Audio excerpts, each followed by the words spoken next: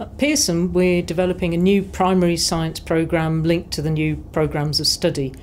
Uh, what we've managed to do is what people have been telling us all along they really wanted, which is to chunk up the curriculum into six half termly units through from years one to six. And these units are going to be exciting and filled with really interesting, wonderful science activities. It's going to give children a chance to experience the wow factor of science and get really excited and involved with it. And it's full of interactive activities and it's going to be rich in a whole variety of different media. It's just going to give you a lot to take back to the classroom and to involve your children and get them loving science.